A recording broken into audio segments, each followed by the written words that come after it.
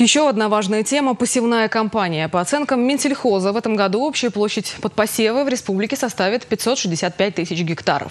Какова степень готовности хозяйств к началу кампании, обсудили на видеоконференции премьер-министр Иван Моторин и руководители муниципалитетов. К весеннему севу Чувашия готова. Начало работ зависит от погоды, отметил министр сельского хозяйства Сергей Павлов. В республике постоянно для счета апреля данным 12 тысяч гектаров зимних культур, 5 тысяч гектаров многолетних трав, промановано 4 тысячи гектаров многолетних трав и 394 гектара зябя.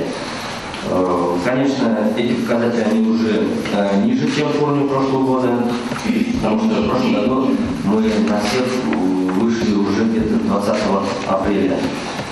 О работе по снижению неформальной занятости рассказала министр здравоохранения и социального развития Алла Самойлова. На сегодня выявлено около трех тысяч нарушений трудового законодательства, когда с работником не оформляют никаких документов. После проверки 424 человека узаконили трудовые отношения. Председатель правительства Чуваши отметил, что этого явно недостаточно. К сожалению, работают и получают зарплату по серым схемам гораздо больше народа. Иван Моторин поручил Минздрав соцразвития на примере одного пилотного района выработать соответствующий алгоритм действий для последующего тиражирования во всех муниципальных образованиях. Легализация трудовых отношений – задача номер один для нас, резюмировал премьер-министр. Также на совещании был рассмотрен вопрос о ходе ремонтных работ в общеобразовательных организациях республики в рамках комплексной компактной застройки сельских поселений и проекта создания в общеобразовательных организациях, расположенных в сельской местности, условий для занятия физической культурой и спортом. Александр Гаврилов, Елена Гальперина, Николай Яковлев. Республика.